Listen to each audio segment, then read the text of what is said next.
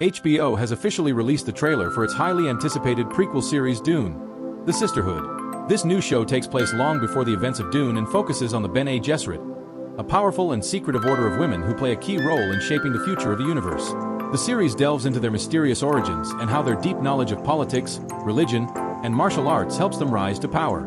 Viewers will get to see how these women navigate the ancient prophecies and face challenges that ultimately mold the events of the Dune saga. Set to premiere in early 2024, Dune, The Sisterhood will bring fans deeper into the rich and complex world of Dune, expanding on the lore established by Frank Herbert's novels and the popular film. The trailer teases stunning desert landscapes, intricate political intrigue, and the epic scope that has come to define the Dune franchise.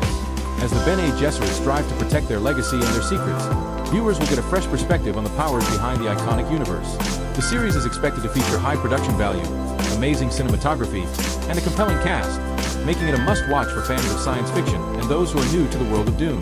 With its mix of history, mysticism, and power struggles, Dune, the Sisterhood promises to be a deep dive into the foundation of the universe we've come to love. Stay tuned for more updates as we approach the release date, and don't forget to subscribe to my channel for the latest news, trailers, and reviews on the Dune series and more.